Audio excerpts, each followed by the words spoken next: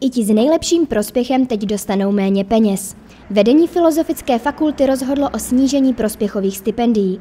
Markéta na něj dosahovala celé bakalářské studium. Po snížení se výše její odměny nebude rovnat ani jednomu nájmu. Mě by to finančně nezasáhlo, ale eh, je to určitě jako vždycky plus, takhle to stipendium jako taková odměna budoucí.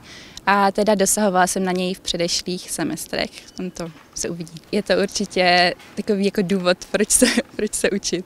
Vedení fakulty rozhodlo, že vyplatí studentům nižší stipendia pravděpodobně už za letošní podzimní semestr. Prospěchová stipendia jsou nastavena tak, že máme dvě výše. Je to 6 000 korun a 3 000 korun podle dosažených výsledků. Podle toho, jak nám vyjde hospodaření stipendijního fondu na konci roku 2022, tak budeme snižovat o 0 až 50 A v tom nejkrajnějším případě by došlo k tomu, že ta částka 6 000 korun se sníží na 3 000 a částka 3 000 se sníží na 1500. Škrty se budou týkat pouze prospěchových stipendií. Studenti tak budou moci bez změn čerpat i nadále stipendia ubytovací či sociální. Filozofická fakulta je zatím jediná z fakult, která oznámila možné snižování stipendií. Důvodem je také to, že ji navštěvuje největší počet studentů. Pro Muni TV Lucia Farkašová a Magdalena Jandová.